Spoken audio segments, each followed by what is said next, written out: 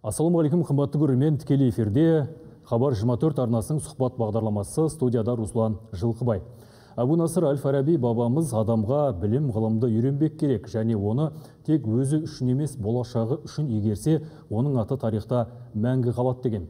Күн санап ғылым білім дамып жатқан уақытта дәл қазақстандағы қазір білімнің ғылымның деңгейі қандай? Біз бүгін осы төңірегінде әңгіме қозғаймыз. Студия қонағымен таныстырып өтейін. Қарағанды индустриялық университетінің ректоры басқарма төрағасы абдрасилов болатбек серікбайұлы. Қош келдіңіз. Саламатсыздар бүгін өзіңіз білесіз қазақстанда жалпы бүкіл әлемде осы ғылымға аса мән беріледі. Өйткені күн санап технология дамып жатыр. Біздің тұтынатын заттарымыз да осы ғылымның дамуына байланысты. Енді өзіңізбен елдегі жоғары білім орындарындағы білімнің мазмұны бағыты жөнінде әңгіме өрбітсек өтсек әуелі қазақстандағы дәл қазір қазақстанның университеттерінің біліміне тоқталсақ қандай бағытта біз жұмыс істеп жатырмыз? Қайсыған қатты мән беруіміз керек? Дұрыс айтып отырсыз. Негізінде қазір енді мынау бәріміз түсініп жатырмыз ғой. Мынау қоғамның болашағы мемлекеттің болашағы экономика болсын әлеуметтік жағдай болсын өндіріс болсын көп мәселелер мына ғылым менен білімге келіп тіреледі. Сол себептен мына дүние жүзінде барлық мемлекеттер осы жақсы білім жүйесін құру ғылымды дамыту деген мәселені сол актуальды түрде талқылайды. Осы бағытта көптеген мемлекеттер үлкен жаңағы осы білім мен ғылымды дамытуға үлкен әрекеттер жасап жатыр. Енді негізінде біздің мемлекетімізде де соңғы уақыттарда түбегейлі өзгерістер басталды болып жатыр деп айтуға болады. Біз енді мына екі мыңыншы жылдың басында басқа мынау жетекші университеттерменен біздің университеттерді салыстырған кезде әрине ол кезде бізде көптеген кемшіліктер болды.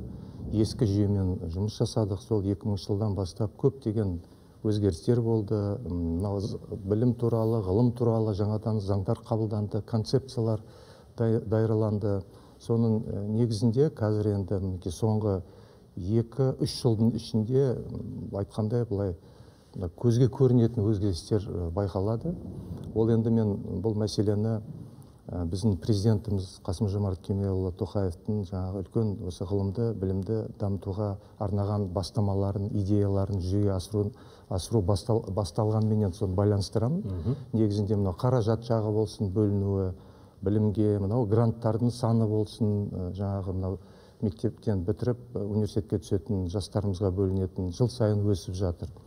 Ғылымға мысалы соңғы екі жылдың ішінде бөлінетін қаржы 30 пайызға өсті. Ол деген әрине мінекей білім мен ғылымды дамытуға үлкен бір жақсы леп беретін мынау дамуына жақсы бір импульс беретін мінекей бастама деп қабылдаймыз. Жаңа өзіңіз айттыңыз ғой ескі жүйеде болды деп. Ә, кеңестік жүйеде жұмыс істеді ғалымдарымыз 2010 жылдан бастап жаңа жүйе енгізілді. Содан бері қандай өзгеріс бар? Енді мен енді оны университеттерді айтып кеткім келіп отыр да негізінде университеттердің деңгейі олардың жаңағы даму процестеріне үлкен баға беріледі де қазір дүние жүзінде рейтингтер арқылы. Үш үлкен рейтинг бар. QS рейтинг дейді Times High Education рейтинг дейді және шанхай рейтингі дейді. Мысалы үш төрт жыл бұрын осы мынау qs рейтинг енді негізгі рейтинг болып есептеледі. Квакварелли симмонс деген аты бар. Ол енді халықаралық ұйымнан өткізетін рейтингі. Сол рейтингке бәрі болғаны төрт бес қана университет кіретін осы үш төрт жыл бұрын. Мінекей бүгінгі күні осы рейтингке 2023 жылы он алты біздің университеттеріміз кірді.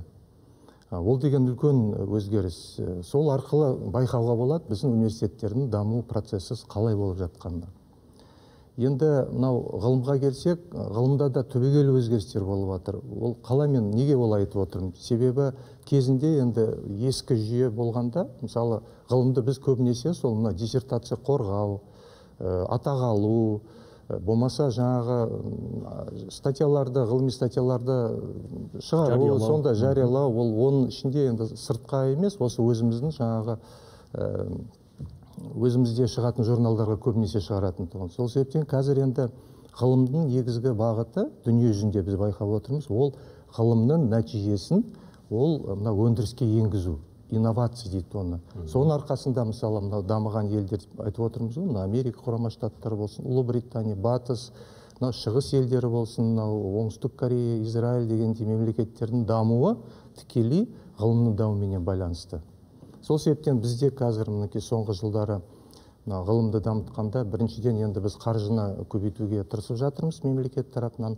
Ал екінші осы біздің ғалымдар қандай жұмыстармен айналысу керек ол жұмыстар қандай мынау қоғамға мемлекетке экономикаға пайда келтіреді? Осыған көбірек көңіл бөліп отырмыз қазір. Өзіңіз басқарып отырған университетте бүгінде студенттер өндіріс орындарда жұмыс істеуіне мүмкіндік алып отыр. Мына сөз есіме түсіп отыр леонардо да винчи айтқан екен. Ғылым деген ол капитан ал тәжірибе деген ол әскер. Яғни капитанға әскер қашанда керек? Соғыста жеңіске жету үшін әскер тек қана алдыңғы шепте алға ұмтылса ғана жетістік жеңіс болады. Сол сияқты ғылымда қашанда алдыңғы қатарда болу керек қой. Сіздің студенттер өндірісте қайда өтеді тәжірибеден?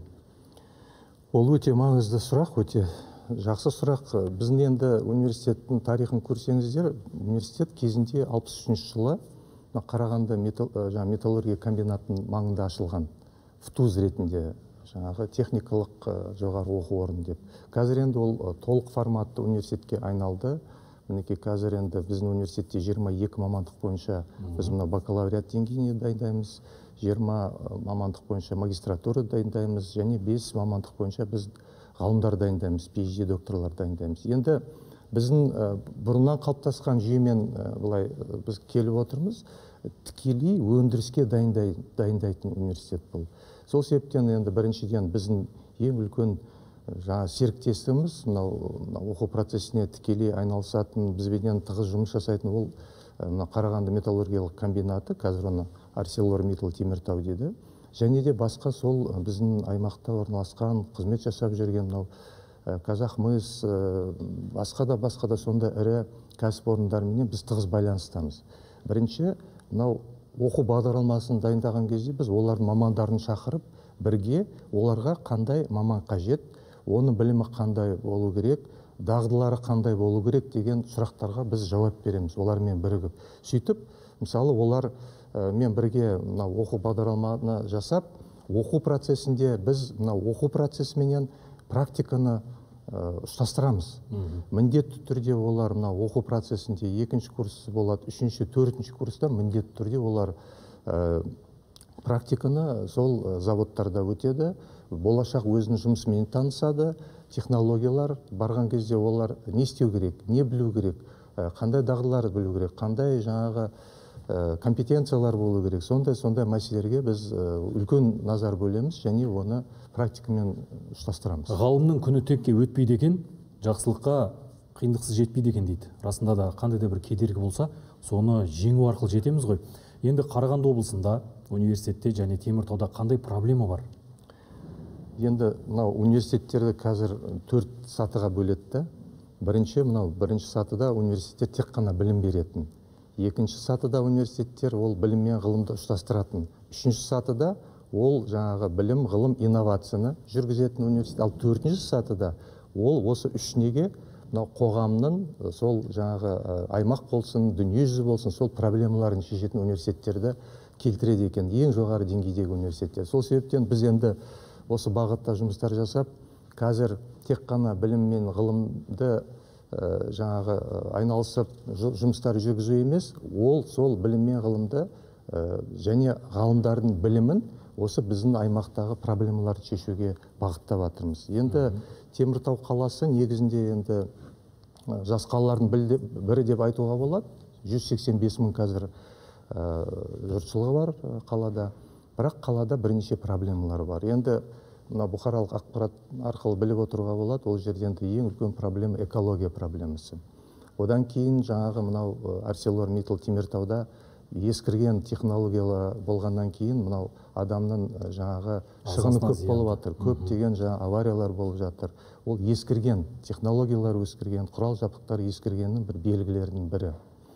Ең тағы да бір айтатын проблема ол жастардың сол мына теміртау қаласына қалмауы. Сол жерде мысалы жыл сайын мыңға жуық мектеп бітіреді жастарымыз.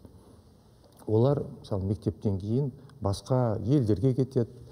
Басқа ұлттардың жаңа өкілдері кезінде солай болған енді. Ә, біздің өзіміздің жаңағы мектептің бітірушілері басқа қалаларға кетіп қалатын сондай бір проблема бар. Сол проблемаға сол проблеманы шешуге қазір бір тікелей араласып отырмыз. Ә, қалай енді араласып отырмыз? Көбінесе біз енді байқап отырмыз біздің университетті көбісі білмейді екен.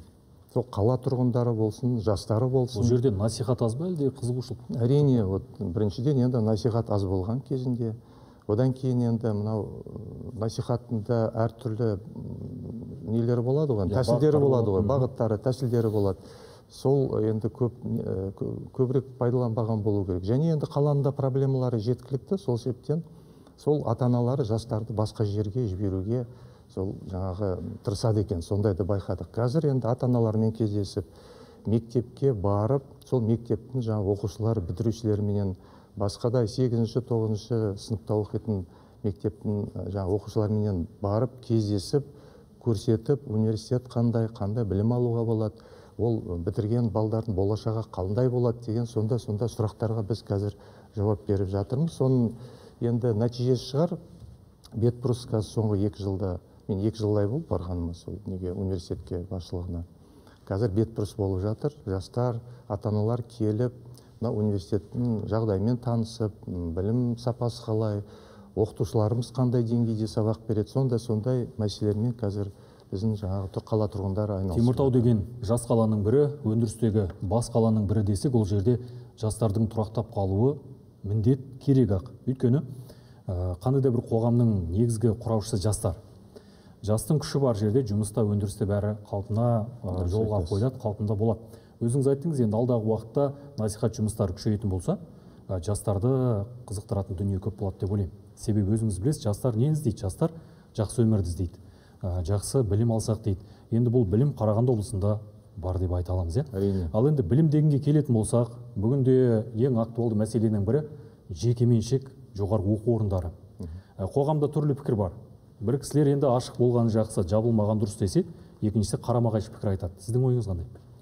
Негізінде енді біздің қалада бір ғана жоғары оқу орны бар бірақ енді біз көріп отырмыз. Мынау біздің жаңағы мемлекетте мынау әр жерде жаңағы жоғары оқу орындары бар жекеменшігі бар мемлекеттігі бар мемлекеттік емес түрде университеттер бар. Әрине ол бәрімізді толғандыратын мәселе. Ә, енді қоғамда қалыптасқан бір ой бар. Мына жекеменшік университеттерде ә, жаңа білім сапасы төмен деген сондай бір ойлар бар. Бірақ негізінде мен оны жоққа шығарғым келеді. Әрине ол енді ә, олардың қатарында ә, сабақты нашар өткізетін ғылымы ә, жұмыстары жүрмейтін университеттер бар. Ал бірақ олардың қатарында мықты университеттер де бар жекеменшік енді мен енді өзімнің осы мәселеге байланысты қазір соңғы уақытта өздеріңіз біліп жүрсіздер ғой мына жабу мәселесін көп айтады. Мына жекеменшік университеттерді жабу керек санын азайту керек онымен мен қосыламын. Бірақ дегенмен менің бір басқа бір көзқарасым бар да осы жекеменшік университеттерге. Негізінде вот бүгінгі таңда біздің университеттерде 626 мың студент оқиды. Барлық университеттерде. 119 университетіміз бар. Соның ішінде 33-і жаңағы біздің мемлекеттік кіретін мемлекеттік жаңағы статусы бар университеттер қалғандары жекеменшік университеттер. Сонда жекеменшіктің саны өте көп болып тұр иә жекеменшіктің саны көп. Дегенмен енді былай енді цифрларға мен сүйенемін да мысалы 2025 жылы үш жылда екі жылдан кейін контингент бір көп өсейін деп отыр. Қазір 626 мың студент болса 800 мың студент болады. Шамамен 4-5 жылдың ішінде мектеп бітірушілердің саны екі есе өсейін деп отыр.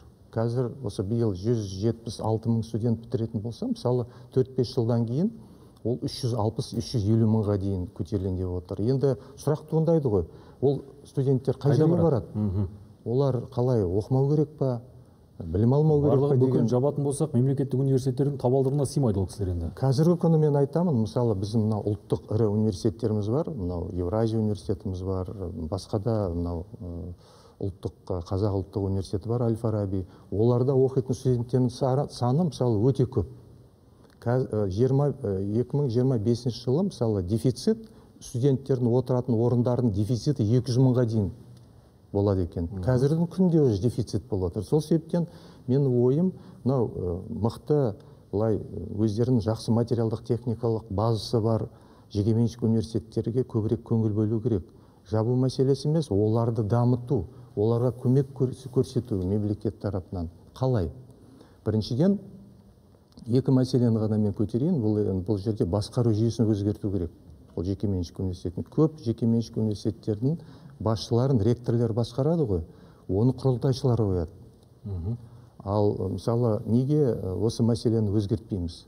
Неге жекеменшік университеттің басшысын қазір мысалы мынау біздің мемлекеттік университеттерде екі сатылы үш сатылы жаңағы ректорлерді тағайындау. Қазір министр тағайындағанмен бірақ ол республикалық комиссиядан өтеді. Мынау өзінің жаңағы директорлер кеңесі болады. Мына біз енді акционерлік қоғам болғаннан кейін коммерциялық емес. Біз мысалы сол бірінші сатыда мына директорлер кеңесінің конкурсынан өтеміз. Одан кейін барып республикалық комиссияға барып сол жерде олар таңдап министр тағайындайды.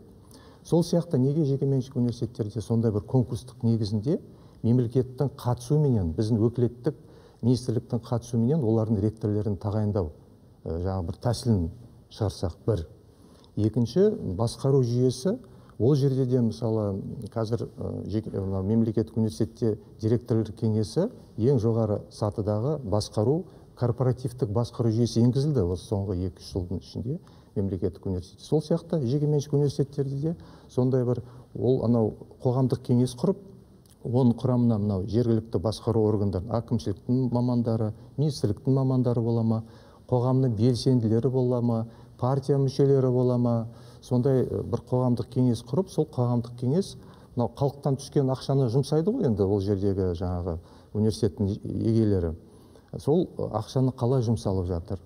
Оны дұрыс жолға қою Э, сол сияқты жұмсалған қаржыны қаржыға контроль жасау бақылау жасау деген сондай бір жүйені енгізсек меніңше осы жекеменшік университеттерге қоғамның да көз, көзқарасы өзгереді. Әрине ол жерде түбегейлі білім сапалы өзгерістер, өзгерістер болады және айтпақшы сапалы білім береді келісіп пішкен тон ешқашанда келте болмайды. Қазақстан жалпы дамып келе жатқан ел ретінде мына ғылым саласында әлемнің қай елдеріндегі озық технологияны жүйені қабылдаса болады? Әрине. Мысалы мен айтып кетейін мынау ең мықты университеттер қазір дүние жүзіндегі университет бәрі жекеменшік. Оксфорд мысалы гарвард MIT сондай сондай. Мынау жаңа мен рейтингтерді айтып өттім ғой. Сол рейтингтің жаңа бестігінде осы төрт бес университетіміз жеке жаңағы жеке олардың бәрі жекеменшік университет. Сол сияқты мен ойлаймын жалпы мынау біздің қазір мемлекет тарапынан көмек болса бақылау болса ә, меніңше сол біздің жекеменшік университеттер енді жақсы дамиды деп ойлаймын. Ғылым саласынан хабар бар айтары бар азаматсыз ғой. Еліміздегі ғалымдарға дәл қазіргі уақытта жағдай жасалған ба? Көңіліңіз тола ма? Енді мен өз, өзіңіз білесіз 2017-18 жылдары мынау ғылым комитетін басқардым. Ол кездегі жаңа білім және ғылым министрлігінде құрамына кіретін. Ол кезде енді жағдай өте нашар еді. Ғалымдарға мына көзқарас ол жаңағы бөлінетін қаржы өте төмен деңгейде болды. Мысалы үш жылда бір ақ рет конкурс болатын. Бөлінген қаржы айлығына жетпейтін тұғын. Сондай сондай жағдайлар болды сол кезде. Мінекей осы 2019 жылдан бастап мына білімге бөлінетін қаржы мен жаңа айтып өттім екі жылдың ішінде 30 пайызға өсті. Қазір мысалы бөлініп жатқан қаржы меніңше енді басқа мемлекеттермен салыстырған кезде әрине аз. Бірақ дегенмен қазіргі жағдайда меніңше жеткілікті деп ойлаймын. Енді оны ары қарай ғылымды қандай бағыттарды дамытамыз?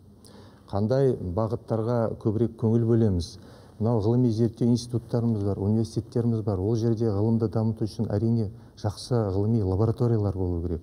Олардың тәжірибесі болу керек ұлғайтуымыз керек тәжірибелерін білімін ұлғайту керек. Сол себептен негізінде осы биыл жақында ғана біздің ғылым және жоғары білім министрлігінің коллегиясы болды. Сонда осы мәселелер ортаға салып талқыланды. Сол жылдармен салыстырған кезде қазір бір жарым есе өсіпті мына ғалымдардың айлығы. Мына конкурстар жылда өткізгеннен кейін әр мысалы талпынып жүрген мен ғылымменен айналысамын ғылымды дамытамын деген мынау жас ғалым болсын Э, тәжірибелі ғалымдар болсын оларға арнайы конкурстар бөлек өткізеді. Жас ғалымдарға бөлек конкурстар өткізіледі мынау тәжірибелі ғалымдарға бөлек конкурс өткізеді. Сөйтіп қазір көптеген ғалымдар сондай бір гранттарға ие болып ғылыми зерттеу жұмыстарын жақсы дамытып келе жатыр. Болатбек мырза өзіңізбен ғылым төңірегінде таңды таңғы ұрып әңгіме айтуға болады десе де біздің уақытымыз шектеулі. Уақыт тауып келгеніңізге айтар алғысымыз шексіз. Ғылым әрқашанда дами берсін. Сөзімізді бағдарламамызды мұхтар әуезовтің мына даналығымен түйіндесек. Біздің ең үлкен мақтанышымыз қашанда ғылым болу керек. Сонда ел алға қарай жылжи бермек қымбатты көрермен әрқашанда біздің каналмен бірге болыңыздар.